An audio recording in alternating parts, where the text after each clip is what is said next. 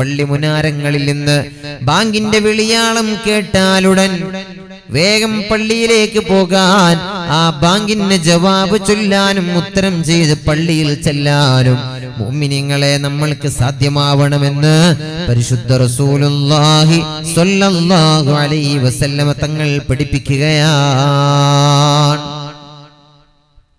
ആ കാര്യം നമ്മൾ ശ്രദ്ധിക്കേണ്ടതാണ്. അതുപോലെ പ്രിയപ്പെട്ടവരെ നമ്മൾ ശ്രദ്ധിക്കേണ്ട മറ്റൊരു കാര്യം. ശബ്ദം താഴ്ത്തുകയും കളിതമാശകൾ പള്ളിയിൽ നിന്ന് ഒഴിവാക്കുകയും ചെയ്യുക. അതും പള്ളിയോട് നമ്മൾ കാണിക്കുന്ന ഒരു ആദരവാണ് ഒരു ബഹുമാനമാണ്. ശബ്ദം വളരെ താഴ്ത്തുക മെല്ലെ സംസാരിക്കുക പള്ളിയിൽ നിന്ന്. കളിതമാശകൾ പാടെ ഒഴിവാക്കുക.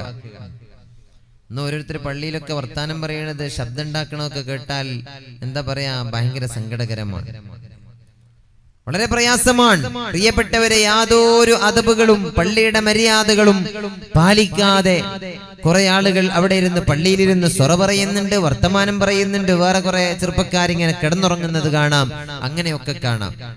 കിടന്നുറങ്ങുന്നതിന് തിരക്കിടുന്നില്ല പക്ഷേ പ്രിയപ്പെട്ടവരെ നമ്മുടെ വായിൽ നിന്നൊക്കെ ഒലിച്ചിറങ്ങുന്ന നജസ്സുകൾ പള്ളിയുടെ പായയിലാവരുത്. അതൊക്കെ നമ്മൾ ശ്രദ്ധിക്കണം. അതാണ് ശ്രദ്ധിക്കേണ്ടത്. മഹാനായ സായിബ് ഇബ്നു യസീദ് റളിയല്ലാഹു തആല അൻഹു തങ്ങൾ പറയാണ് കുന്തു ഫിൽ മസ്ജിദി ഞാൻ പള്ളിയിലായിരുന്നു.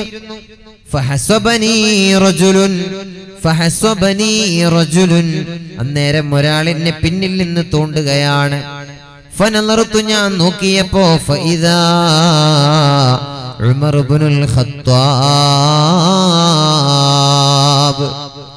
തിരിഞ്ഞു നോക്കിയപ്പോ മഹാനായ ഉമർ ബൻ ഖത്താബ് തങ്ങളാണ്.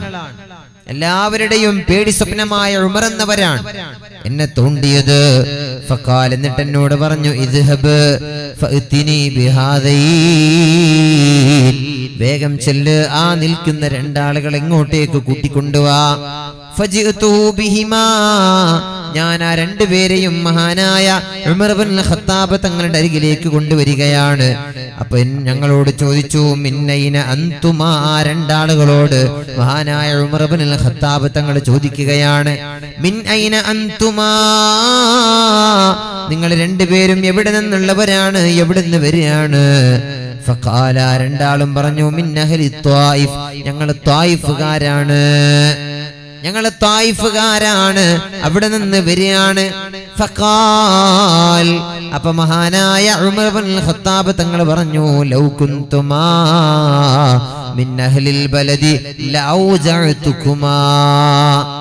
നിങ്ങളെങ്ങാനും ഈ നാട്ടുകാരായിരുന്നുവെങ്കിൽ ഞാൻ നിങ്ങളെ വേദനിപ്പിക്കുമായിരുന്നു. തർഫാനി അസുവാത്തക്കുമാ ഫീ മസ്ജിദ് റസൂലില്ലാ. അള്ളാഹുവിന്റെ പള്ളിയിൽ. ഹബീബായ നബി തങ്ങളുടെ മുബാറക്കായ ഈ പള്ളിയിൽ നിങ്ങൾ ശബ്ദമുയർത്തി സംസാരിക്കുകയോ? നിങ്ങൾ മെല്ലെ സംസാരിക്കണേ. ശബ്ദം താഴ്ത്തണേ.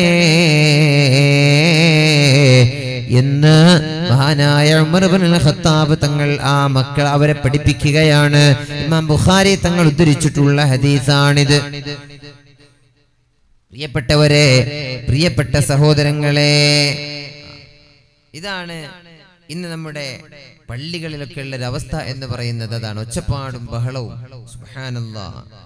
അതാണ് പ്രിയപ്പെട്ടവരെ ഞാൻ പറഞ്ഞു വന്നത്. പള്ളിയിൽ ശബ്ദകോലാഹലങ്ങൾ ഉണ്ടാകുന്നത് അവസാന നാളിന്റെ അടയാളമാണെന്ന് മുത്തുനബി മുഹമ്മദ് മുസ്തഫ